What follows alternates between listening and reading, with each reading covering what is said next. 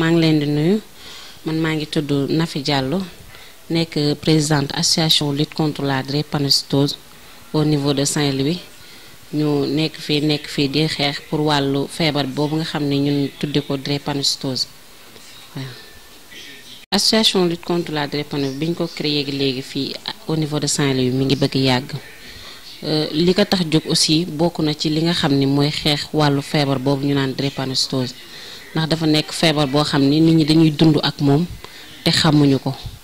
ñàkk xam boobu nag moo tax ñun ñu jóg pour xeex feebar boobu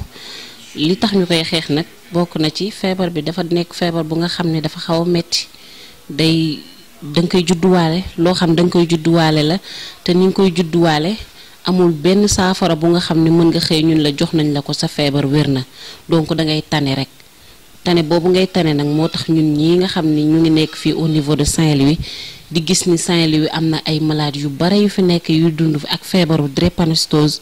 ñu jóg pour xeex wàllu feebar boobu pour am lu nga xam ne si daañ ko dimbalee malades yi ak prise en charge boo xam ni dina mën daañ ko mën ñoom di def si wàllu feebar bi.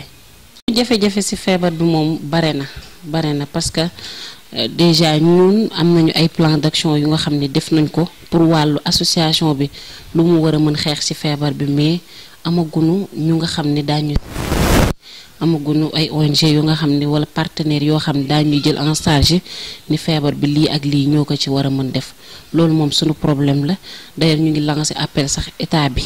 ak euh, fondation Servir le Sénégal yi fi nekk ak ONG yi ñu xool lépp lu nga xam ne mën nañu ko jàppale ñu jàppale ñu ko ci wàllu feebar bi parce que métti na trop fii Ndar wax dëgg yàlla ñun association bi dañ fiy dund lu parce que chaque année mën nañu wax ne daañu perdre cas bu nga xam ne day nekk ci association bi nekk Ameth Drépano ba xëy yàlla moom bakkanam te ñun xëy na naan loolu moom sax ñàkk na ko mais bu ñu amee ñu am prise en charge bu baax rek xam naa ni dinañu yàlla mën na guddal seen fan daal yokk yokk daal affaire yooyu noonu waaw. kiliye bi moom mooy di ñaan di wax population bi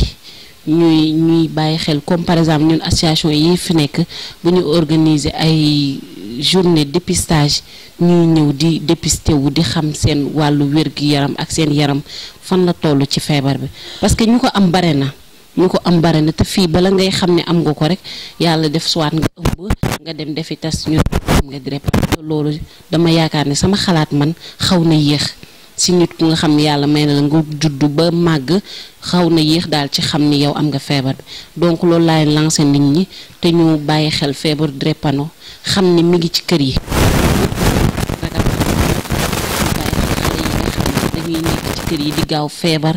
di di gaaw sonn seen yaram bu tayee fii newi wala bu subaa seen tànk newi seen loxo newi wala seen ay bët di changé noonu ba mel na lu jaune wala ay saw yuy changé yooyu yëpp buñ ko gisee nañu xam ni kii xaw na am ay signes yu nga xam ne am na drépano ñu teel ko yóbbu ci médecin yi ñu jël leen prise en charge di leen toppatoo di leen faj parce que am na médecin yu fi nekk fii am nañ fi professeur Diagne docteur Diba ñoom ñëpp ñu ngi nekk fi nekk ay spécialistes drépano di dimbale malade drépano yi au niveau de Saint-Louis ñu teel dem daal seeti seen bopp loolu laa doon lancé nit ñi te di wax daal ñu bàyyi xel feebar drépano moom soxla na ndimbal